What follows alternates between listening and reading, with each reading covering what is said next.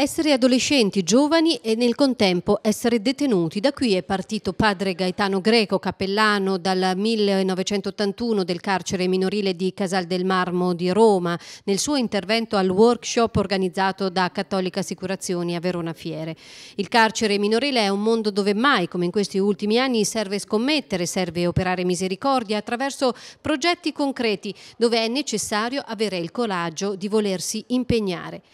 Al di là di occhi a volte vuoti, a volte violenti, a volte velati da uno strazio sconfinato, risultato di infanzie difficili, bisogna, ha affermato padre Greco, avere l'ardire di voler conoscere e azzardare percorsi di speranza per questi ragazzi fragili ma forti, capaci di avere voglia di un futuro. Cosa vuol dire misericordia verso i più deboli, verso i ragazzi che vivono un'esperienza così?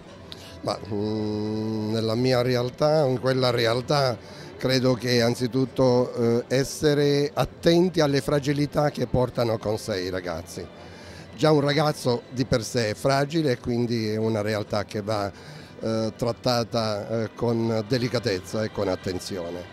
Poi in quella realtà ancora più attenzione perché i rapporti non sono facili da stabilire in una prima fase, ma poi successivamente diventano le persone più simpatiche, più forti, più coraggiose, più, che hanno voglia di, di vivere e di vivere nel modo migliore. Cosa vuol dire quindi questo giubileo per questi ragazzi? Per me, per questi ragazzi significa quello che